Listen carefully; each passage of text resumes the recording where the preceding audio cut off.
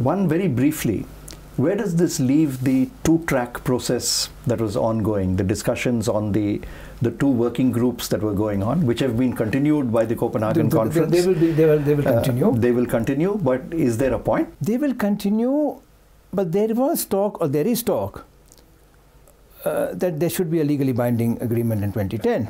Even if that not, does not happen, there's a review arrangement before 2012, Right. Before 2015, sorry. Right. And the Kyoto Protocol comes to an end in 2012. Right. My own take on this is that as time goes on, there will be some kind of a consensus that let the Kyoto Protocol have a natural death and something else will emerge in its place. If not by 2012, but certainly around 2015. And you think the two working groups will start addressing that? The two working groups. Because by mandate they are bound to. Again, uh, that is something that we will need to uh, closely watch because it could be that these political decisions are taken outside the UN framework Right. and they come back to the UN framework for ratification or for working out of the details. right. But I also get a feeling that the other developing countries will soon see. And this is how, and it all depends on how the basic group of countries, particularly China, play their cards. If they are espousing the cause of the de- other developing countries, particularly adaptation, then they will go along. One of the things uh, spoken about a lot at the conference was that uh, the UN process uh, mandating consensus and taking everybody along doesn't seem to have uh, succeeded. Uh, the Copenhagen conference, in some sense, was therefore a failure, but a large number of civil society groups and NGOs have hailed what they consider to be a gathering momentum, uh, at least in civil society, uh, towards climate solutions. Uh, whatever one may uh, feel about civil society groups as a whole in their response to the climate uh, problem, in the run up to Mexico, uh, while the governmental negotiations take place, what do you think is going to be the role, or you would like to see the role of civil society groups in this process? The big shift which I saw in the run up to this uh, to Copenhagen was at Barcelona when the African group actually walked out because they said that the developed countries, particularly the parties to the Kyoto Protocol, were not putting any numbers on the table as to their reductions and they walked out. Now, that show of uh, defiance, in a way, of the process was important because nobody expected Africa to take that kind of stand. Now, what is what what the, the role that civil society can play is to support uh, the, the least developed countries in understanding this problem. Because when I spoke to the African Uh, de- delegates there, they were very categorical in saying that look, we have a political mandate to do this because we are already feeling the problems of cl- climate change, the drought in Darfur and Kenya, and the entire sub-Saharan belt.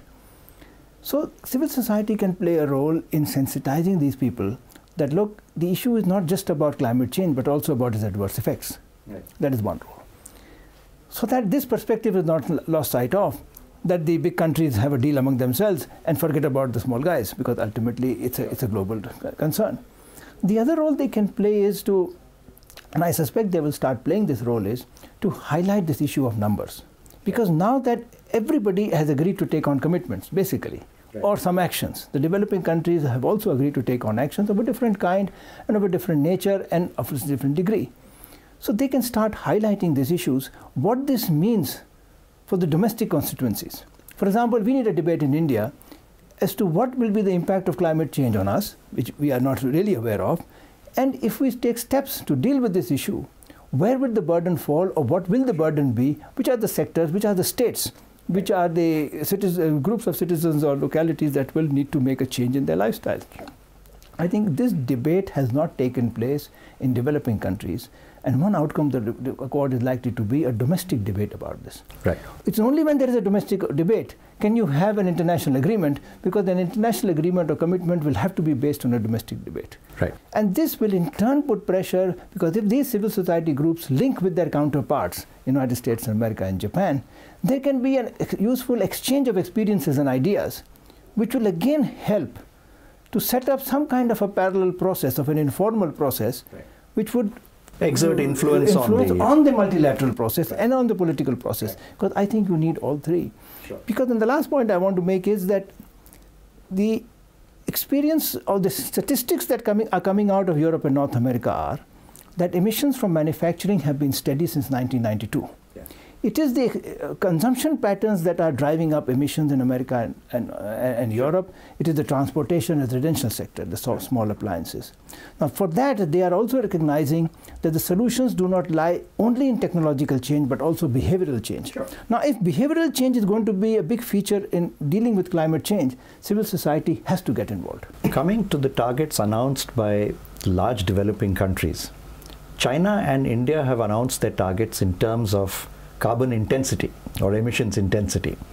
Do you think that is a useful metric uh, to use, or would it be better to calibrate it in terms of emission reductions below projected growth rates or below BAU or no, they, you could have I think politically they felt that they cannot give a number because you cannot calculate a number right you don't know what kind of growth you where the growth is going to take you, what new technologies are going to emerge, what are the, going to be the costs involved.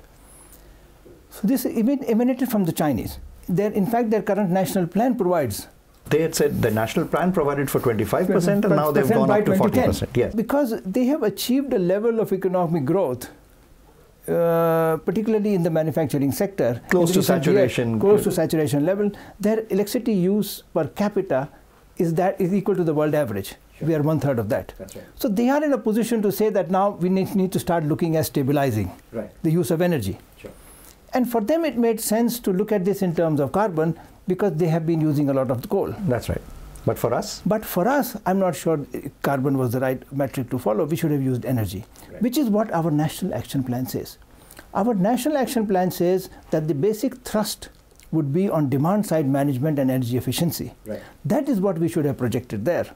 Rather than take it in terms of carbon because as our manufacturing industries are going to grow to provide employment, as our electricity generation based on coal plants is going to grow, our carbon intensity is going to increase. That's right.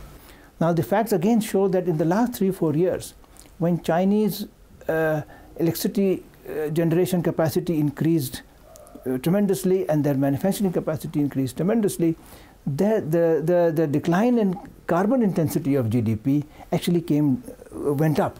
Sure. The, the decline for, was for reduced. a short time. For a short time. Yeah. Now that is the kind of situation we are going to face for some time to for come. Time. Yeah. So we may be having a problem, not in this round, but when the next round of negotiations comes and people ask us to take further cuts, then we may have a big problem. In the run up to Mexico, given where you started, which was that in some sense perhaps there was a misreading certainly on the part of India, maybe on the part of the other large developing countries as well, as to the mood of the smaller developing countries, the least developed countries, the island states, how they perceived the problem. What do you think India should do diplomatically, strategically, in the climate negotiations in the one year ahead?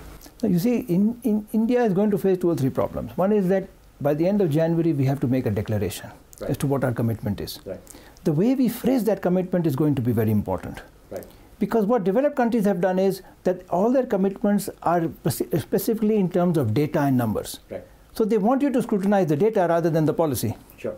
They also have a benchmark against which you will assess it. Now, if the benchmark is equal per capita emissions or burden creating criteria, we are safe. The other issue is about the LDCs. And we are particularly vulnerable not only because we, of the solidarity of the G77, but because we are surrounded by LDCs in our region. Right. You know, Afghanistan, Bhutan, Nepal, Bangladesh, Bangladesh Maldives. Maldives. So we have to be sensitive to their concerns, not only because of the climate reason, but because of our own regional right. location.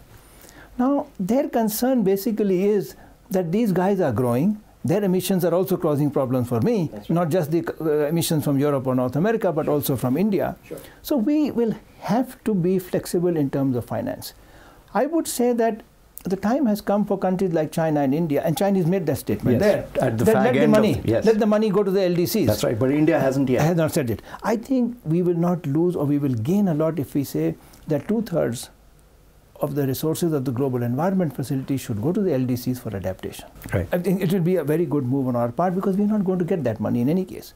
If you make a voluntary commitment, you are not eligible to get money. Right. Similarly, about technology, we talk about energy technology. I think the time has come to talk about the new varieties of seeds. Sure. Because for Africa, you need For new seed varieties for adaptation. So once if we show certain amount of sensitivity, and it will not hurt our interests, it will only further our interests, particularly India's.